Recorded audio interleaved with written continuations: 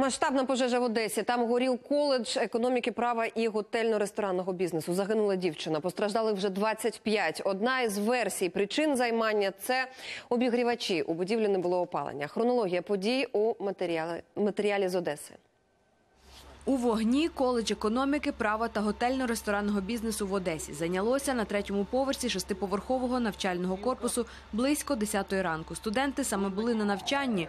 Вогонь швидко поширився приміщеннями. Одна з причин легкозаймистів очеретяні перекриття. Вигоріло понад 3 тисячі квадратних метрів.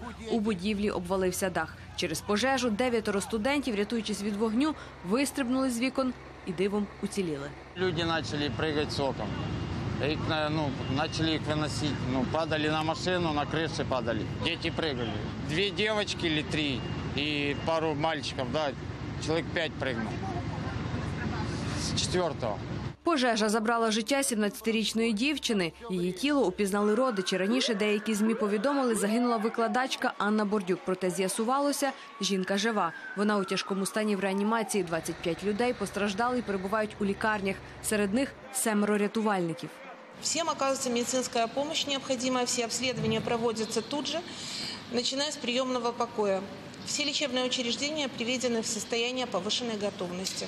Загалом у закладі навчались і працювали близько 400 людей. Нині складають списки. Батьки шукають своїх дітей. Немає зв'язку ще з чотирма людьми, які перебували у приміщенні під час пожежі. Їхні рідні чергують у лікарнях. С тех, которые прыгали, да, повреждения, сделали им всем УЗИ внутренних органов, повреждений паренхематозных органов нету, переломов серьезных костей также нет. У всех э, есть э, отравление продуктами горения средней степени тяжести.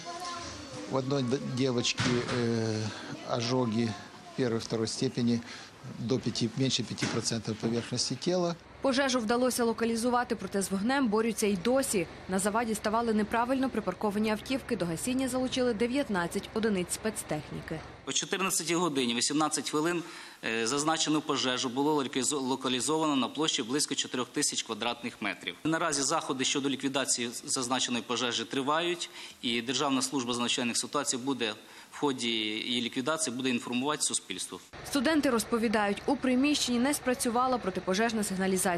Припускають, що займання сталося через стару проводку. Мережу не ремонтували понад 50 років. Галина Якушко, подробиці телеканал Інтер, Одеса.